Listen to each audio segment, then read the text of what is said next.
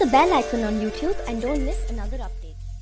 முழு உக்ரைனையும் மிக சில நாட்கள்லே பிடிக்க ரஷ்யாவால் முடியும்னு சொல்லப்பட்டுச்சு. ஆனால் பாதி உக்ரைனில் கூட முழுமையாக ரஷ்யாவால் கண்ட்ரோல் எடுக்க முடியலை அப்படிங்கிறதான் இதற்கு பல்வேறு காரணங்கள் சொல்ல முடியுது. முக்கியமான காரணம் திட்டமிடலில் தவறு அப்படின்னு. இப்போ அதெல்லாம் ஒதுக்கி வச்சுட்டு புதுசாக ஒரு விஷயம் பார்க்கப்படுது.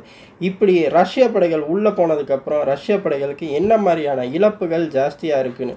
பொதுவாகவே ஒரு நாட்டோட இராணுவம் இன்னொரு நாட்டுக்குள்ளே அஃபென்ஸாக போகும்போது பெரிய அளவில் சேதாரங்கள் இருக்கிறது இயல்பான ஒரு விஷயந்தான் ஆனால் ரெண்டாம் உலகப் போருக்கு அப்புறம் பெரிய அளவில் ஜென்ரல்கள் பலியாகிறது அப்படிங்கிறது இப்போ தான் நடக்குது அப்படின்னு சொல்லப்படுது.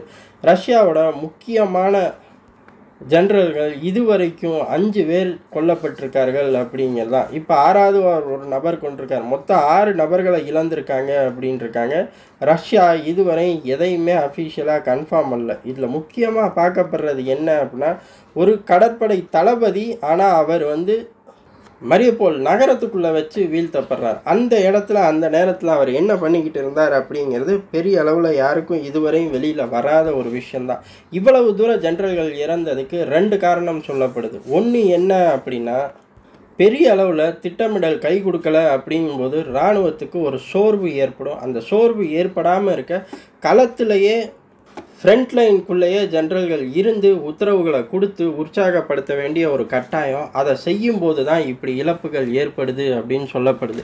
இன்னொரு விஷயம் என்ன அப்படின்னா இந்த பலியான ஒவ்வொரு ஜென்ரல்களுமே ஒவ்வொரு திட்டத்தோட ஒவ்வொரு திசைக்கு போகிறாங்க அவங்களோட திட்டமிடல் நிறைவேறினாலும் சரி அதில் அடுத்த கட்டமாக திட்டமிடலை நோக்கி போகணும்னாலும் சரி பெரிய அளவு இங்கேருந்து உத்தரவுகள் கிரிம்லின்லேருந்து உத்தரவுகள் வரமாட்டேது அப்படிங்கிறதான் இந்த மாதிரி சிக்கல்களில் தான் இவ்வளவு ஜென்ரல்கள் இறந்திருக்கார்கள் அப்படின்னு சொல்லப்படுது.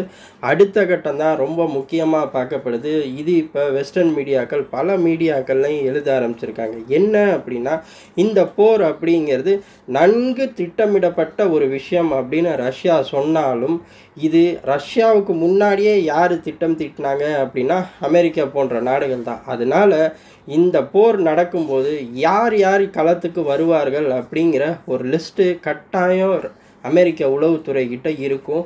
அந்த ஜென்ரல்களோட அணுகுமுறை எப்படி இருக்கும் அப்படின்னு இவங்களுக்கு ஏறக்குறைய பலகட்ட ஆய்வுகள் பண்ணியிருப்பாங்க. அதை குறி வச்சு தான் ரஷ்ய படைகளை உள்ளே கொண்டு வரது ஒன்று ரஷ்யாவோட முக்கியமான ஜென்ரல்களை உள்ளே கொண்டு வரது மூலியமாக அவர்களை வீழ்த்தி ஒரு குழப்பமான சூழ்நிலை வரும்போது அடுத்தடுத்து படைகள் முன்னேறத பெரிய அளவு தடுக்கலாம்.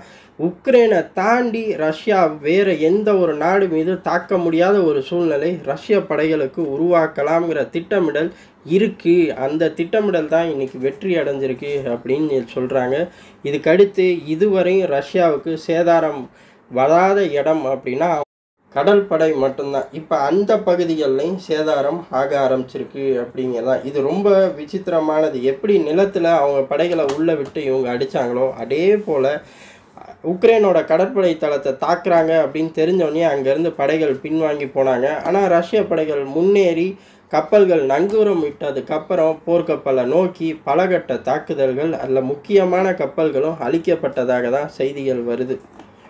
ரஷ்யாவை எல்லையிலேருந்து வீழ்த்த முடியாது அப்படிங்கிறக்காக ஊருக்குள்ளே விட்டு பலகட்ட தாக்குதல்கள் மூலியமாக ரஷ்யாவை வீழ்த்திக்கிட்டு இருக்காங்க.